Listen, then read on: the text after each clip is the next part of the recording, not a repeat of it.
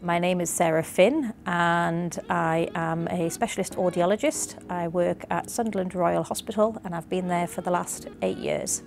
Switching the hearing aids on, whether that's a child who's hearing for the first time in the paediatric service or an eight-year-old patient that's fought having a hearing loss for 15 years plus, turning those devices on and having them go, ooh, that's, wow, that's better than what it was before that in itself is that instant gratification that what you're doing is making an active difference to somebody's life.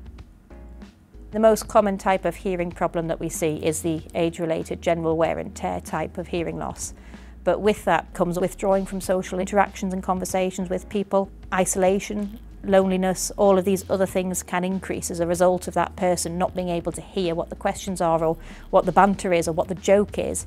Um, so it has quite an impact on that overall person's well-being. The reason I was attracted to audiology in the first place is that it is one of those things where you do an awful lot of the care process. You are assessing for a condition, but then you're treating and you're managing it over a long-term lifetime of that person for care.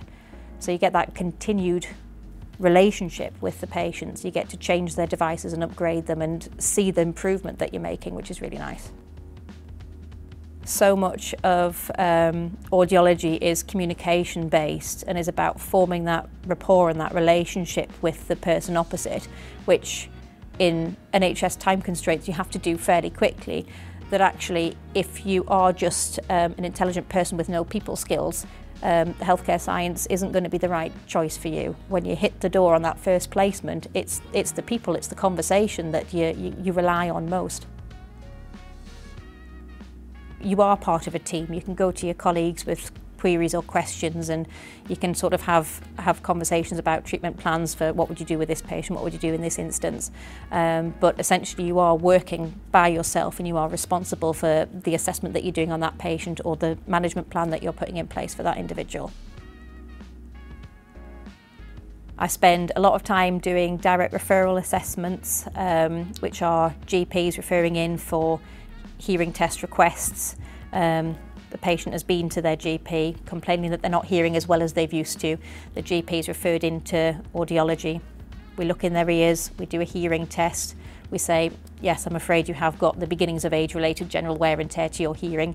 Would you like to try some hearing aids? So we take them through that and then we take them through the fitting appointment, which is introducing them, often for the first time holding a hearing aid and then having to practice popping it in and out well, GCSE, I ended up doing um, the separate sciences um, and I, I picked RE and I picked history and I threw a language in there and did French just so it was wide enough, so it was enough spread because I hadn't fully made my mind up at that point as to what I wanted to do.